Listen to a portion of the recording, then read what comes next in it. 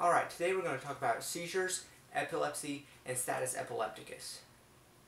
Seizures are when you have an abnormality in the brain causing uh, the electrical signals to be sent incorrectly and it causes uh, problems with the muscles, it causes loss of consciousness, it can cause uh, dysphagia, biting one's tongue. What it does is it causes an abnormal signal and then the body responds incorrectly. So what, what are some risk factors for seizures? Genetics is a, is a risk factor. Uh, fevers, especially in very young children, uh, can cause seizures. Increased intracranial pressure, such as after a head injury, uh, brain uh, tumors, hydrocephalus, meningitis, uh, basically problems with pressures in the head. Uh, low glucose levels, so hypoglycemia, if you get too much insulin, your patient may, before they go unconscious, maybe they'll start having seizures uh, changes in sodium levels in the in the body.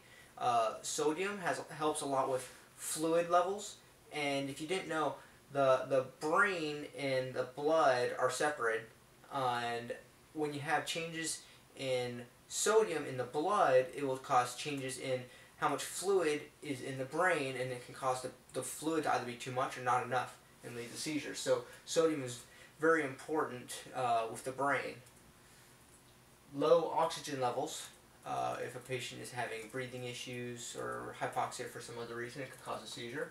And withdrawals, and this could be from uh, alcohol, it could be from drugs, or it could be a patient who has uh, epilepsy and they take anti-seizure medicines and maybe they stop taking them. Um, that can cause withdrawal symptoms and it can cause seizures. So there are three types of seizures we'll discuss. There are generalized, partial or focal, and just think of it partial, focal is kind of the same word. And then there's unclassified and idiopathic. So generalized seizures, think of this as the general body. The whole body is affected. Uh, another word, word for this is grand mal, and no, that's not grandma seizures. That's why I first thought. And then you got tonic-clonic seizures. So let's break this down. With a generalized seizure that affects the whole body, you could have an aura. And what an aura is, is it's a warning sign that the patient feels. It could be they smell a weird smell or they have a weird feeling in their body. And this is typical of epilepsy. Perhaps they uh, are aware of what their auras are. And so they can prepare themselves for their seizures if they're they shouldn't be driving, but if they're riding a bicycle or they're doing something where they need to stop and get themselves on the ground before they have a seizure, auras can be helpful. So tonic clonic. So you can have a tonic seizure, you can have a clonic seizure, and you can have a tonic clonic seizure. And these are all types of generalized. So uh, the tonic phase is seen by tonic tone, the muscle tone increases, and so the body becomes rigid, and this causes uh, also a loss of consciousness. The clonic phase is rhythmic jerking. This is where the patient may uh, have incontinence or they may bite themselves because their muscles are contracting rhythmically. And then you have may have tonic clonic. So a patient may have just one or the other, or they may have a tonic phase, then lose consciousness, and then when they regain consciousness, they'll be in the clonic phase. Also, after seizures, there's typically a post-ictal phase for a generalized seizure, and what that would be is this is the phase where they, they are done having the physical movements of the seizure, but now they're exhausted from all the muscles contracting and they're very sleepy because their brain's been affected. So, to break this down one more time, you can have a tonic generalized seizure, which is just muscle stiffness. You can have a clonic generalized seizure, which is just rhythmic jerking. Or you can have a tonic clonic generalized seizure, in which you have muscle stiffness, then loss of consciousness, then rhythmic jerking. Another type of generalized uh, seizure is the absence seizure. And this is where you hear about the seizures where someone, they'll be talking to you one second and then they'll just go blank and their, uh, their eyes are open and they're breathing, uh, but they are somewhere else and they're having a seizure and they, they're not conscious. And this may be associated with automatisms, which is where they may be, their eyes are open, they're blank, they don't know what's going on around them, they're not going to remember what happened around them, but they may be fidgeting uh, with their clothes or, the, or, maybe smacking their lips.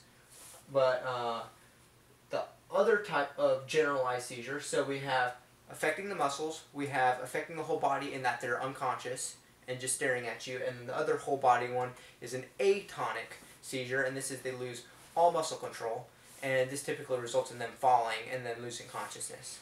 So that's generalized, affects the whole body. A partial or focal means it affects only a, a limited part of the body, and so there are simple and complex. So you may have um, just in general a partial or a focal seizure would be uh, you'll just have ton tonicity and rhythmic jerking in, in one extremity or in one side of the body. Um, but to separate the simple and complex, in the simple, um, you just have part of your body is affected, but in complex, you also lose consciousness. And then the third category, unclassified or idiopathic, means it didn't fit the other categories and it's just any other type of seizure. And that's the majority of seizures that you'll see. So diagnosis for seizures. Uh, you can do an EEG, and what this is is they'll uh, put the electrodes on the head, and then they'll look at electrical uh, ele electrical activity in the brain. And they can do an MRI and a CT as well to see if there's a cause for the abnormalities. So if someone's having a seizure, uh, what do you do during the seizure? You want to first and foremost protect their airway. Make sure that they uh, are turned on their side. So if they vomit or have any drool, that it's not just getting stuck in their lungs. And so you want to turn them to their side, and also make sure that it's open. The second thing you want to protect the patient. If the patient is sitting in a chair or they're up somewhere, you want to get them as low as possible. You want to protect their head. Uh, maybe set their head on your lap. Uh, when you're doing this though, you don't want to restrain them. If their arms are flailing, uh, protect yourself obviously, but you don't want to try holding it down because uh, they can't control their muscles and if they're someone an old lady with osteoporosis, they're strong enough they can break their own bones.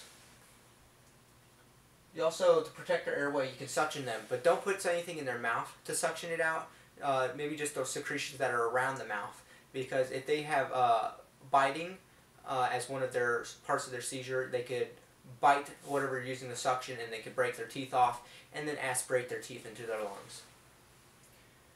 So, that's what you do during the seizure, and then after the seizure, uh, typically the doctor should know by then, and you'll be giving them anti-seizure medications. Okay, so anti-epileptics, these are anti-seizure medications. Uh, the big one to point out here is phenytoin, also known as Dilantin.